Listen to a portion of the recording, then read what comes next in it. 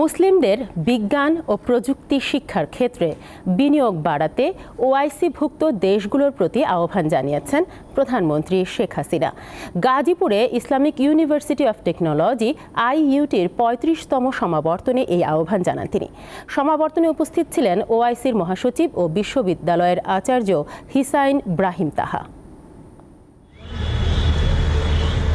ইসলামী সহযোগিতা সংস্থা ওআইসি পরিচালিত আইইউটির যাত্রা শুরু উনিশশো আটাশি সালে বর্তমানে পনেরো হাজার তিনশো চৌত্রিশ জন শিক্ষার্থী এই বিশ্ববিদ্যালয়ের আটটি অনুষদের চৌত্রিশটি বিভাগে পড়ালেখা করছেন. মঙ্গলবার বিশ্ববিদ্যালয়টির পঁয়ত্রিশতম সমাবর্তনে যোগ দেন প্রধানমন্ত্রী শেখ হাসিনা এবং ওআইসির মহাসচিব ও বিশ্ববিদ্যালয়ের আচার্য হিসাইন ব্রাহিম তাহা. সমাবর্তনে চোদ্দটি দেশের পাঁচশো পঞ্চাশ জন শিক্ষার্থী উচ্চশিক্ষার ডিগ্রি অর্জন করেন। আটজন শিক্ষার্থী আইইউটি গোল্ড মেডেল এবং একজন পেয়েছেন ওআইসি গোল্ড মেডেল। আইইউটি পরিচালনায় সরকারের পক্ষ থেকে সব ধরনের সহযোগিতা অব্যাহত রাখার ঘোষণা দেন প্রধানমন্ত্রী শেখ হাসিনা। নিজেদের মধ্যে কলহ একে অপরের প্রতি সৌহার্দ্য ও শ্রদ্ধার অভাব জ্ঞান বিজ্ঞান চর্চায় পিছিয়ে পড়া সহ নানা কারণে আজকে মুসলমানরা পিছিয়ে পড়ছে।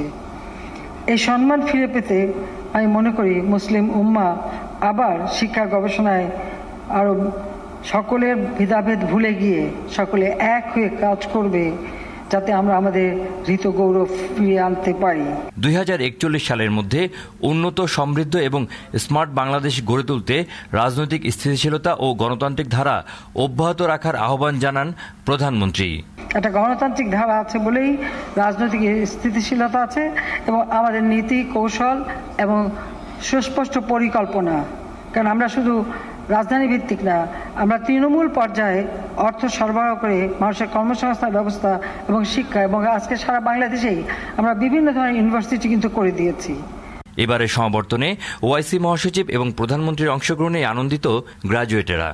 শেষ পয়েন্টে এসে প্রাইম মিনিস্টারের কাছ থেকে যদি আমি গোল্ড মেডেলটা না নিতে পারি, তাহলে আমার আসলে খারাপ লাগে কিন্তু আলহামদুলিল্লাহ খারাপ লাগে নাই। আমি শেষ পর্যন্ত এসে ওই করতে পেরেছি। Feel very satisfy IT is a really joyful place I really enjoy my stay in IT so I thanks all faculty member and my teachers ওয়াইসিভুক্ত সাতান্নটি মুসলিম দেশের শিক্ষার্থীরাই এই বিশ্ববিদ্যালয়ে অধ্যয়নের সুযোগ পান এবং যারা পঁয়ত্রিশতম সমাবর্তনের মাধ্যমে নবীন গ্রাজুয়েটরা কর্মক্ষেত্রে যোগদান করবেন, তাদের কাছে বাংলাদেশ সরকারের প্রত্যাশা যে তারা কর্মক্ষেত্রে ইসলামের সমাহান বাণী এবং প্রযুক্তির যে শিক্ষা, সেটি যেন মানবতার কল্যাণে ব্যয় করেন এমন আহ্বান জানিয়েছেন প্রধানমন্ত্রী শেখ হাসিনা।